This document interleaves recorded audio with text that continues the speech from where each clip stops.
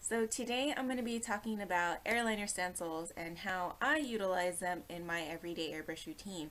So if you are interested, please keep watching. Okay, so if you purchased airliner stencils from airbrushmakeup.com like I did, you would know that it comes in a set of two stencils and there are one that gives you the full lined eye along with the cat eye end and then the other one that is just the cat eye end. So when using your airliner stencils, the question is not really how can I use these correctly, but more of how can I position them to where I would be comfortable holding them and then my airbrush gun. So what you want to do with these stencils, like for instance, the one that is the full line eye, some of us, our eyes are not this long. I know mine isn't, and if yours is, that's awesome. These are perfect for you. But if yours are smaller than this size here, then this is not going to be the perfect stencil for your eye, which means like how we do with false lashes by cutting them down to fit our eye shape, we're going to have to utilize this stencil in the same fashion. Now we're not going to cut it of course, but we are going to utilize it in a way that you would do this portion of your eye first, right? And then you would take it up and then just move it in closely so that it fits your eye. Now, placement is really, really important and the way that you hold the stencil is really important because you want to be comfortable with it. Now, the way that I'm holding mine might not work for you. You might not be comfortable with that. Maybe you like to hold it from the top and hold it down. Maybe that's more comfortable for you. Maybe you like to hold it from the bottom. Maybe that's more comfortable for you. So it all comes around to getting comfortable with how you're going to hold the stencil up to your eye because that's the only way to get the tool to be useful for you. So not every way or every way that you see is going to be the right way. You just have to find the right way for you. So when you're doing um, your eyeliner with the stencils, the stencil that I prefer to use is the Cat Eye End stencil. This is a stencil that I use on the daily all the time just because I find it's the easiest for me to use and whip out. So what I like to do to ensure that they are even is you can, there's a couple different ways to do it. So what you can do is you see the corner of your eye here, you can go ahead and position the bottom part of that cat eye, of course closing your eye. You can position that bottom part at the very corner and this will ensure that your cat eye always extends out the same distance on each eye. Okay, and the next thing you can do is just pay attention to the angle that you're putting the um, stencil on, of course. So if you're doing your eyeliner like this, you don't want to do your eyeliner like this on this eye. So kind of pay attention to the angle and the way you're holding it. And it also helps with the way that you position it. So if you know that you hold your stencil like this, you know that it's going to come out like that every time. So like I said, just go back and forth. Usually what I like to do is go back and forth. I'll do the cat eye end first, spray that out, spray that out, and then I'll go ahead and connect just to make sure that I have them even. Now, the biggest mistake that you can do is just be afraid that you're going to mess up your makeup when you're doing your airliner. That um, intimidation I find is to be the thing that restricts people quite a bit when it comes to doing detail work with airbrush makeup.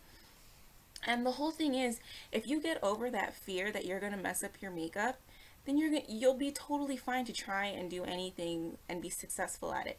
That whole fear that you're going to mess up your makeup by doing these little detail works and things like that can really hold you back and you don't want anything to hold you back with airbrush makeup because you really want to progress and advance and of course increase your skill set.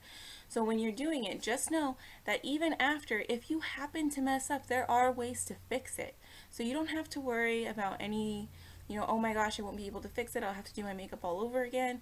I mean, you're never going to learn how to do it unless you take those risks. So here's how I do air shadow slowed down for you. So here I'm starting with my cat eye and stencil positioned the way I normally would do it when I'm doing my airliner. And I'm just spraying through to fill in the stencil. Now I'm going to spray my other eye, but I'm going to do it a little bit higher so that you can see that it is easy to mess up on your eyeliner, but it's not the end of the world.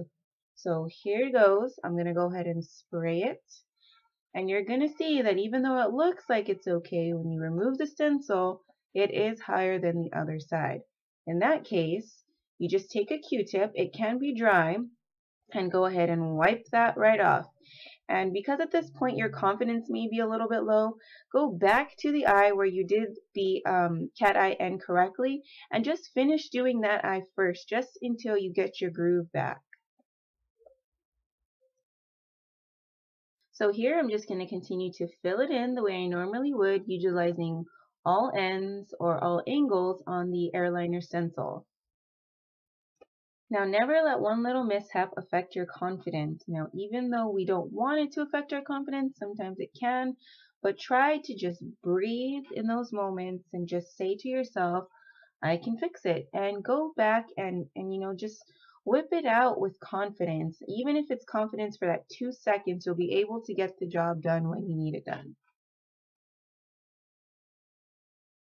So now I'm going to go back to the eye that I had trouble with. And here I'm going to go ahead and get the angle right this time so that I can do it successfully on my other eye.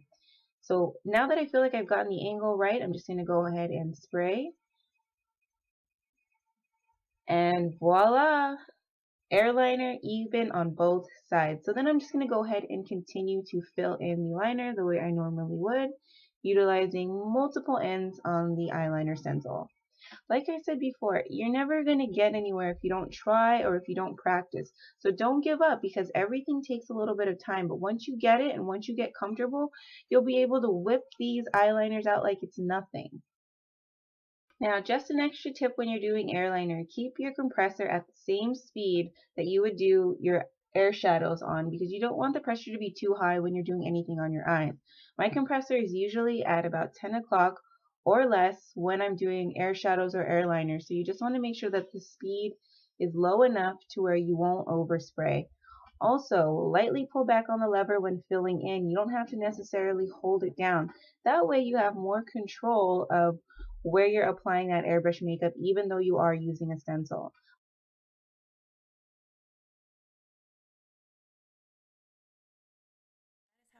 Airliner slow down for you so that you can really see what it is that I'm doing when I'm doing my airliner for all of my air shadow looks.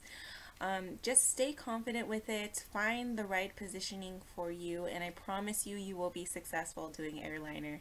If there are any questions or comments that you may have, please comment in the box below. I'd love to hear from you. Otherwise, thank you so much for watching, and please don't forget to like, comment, and subscribe.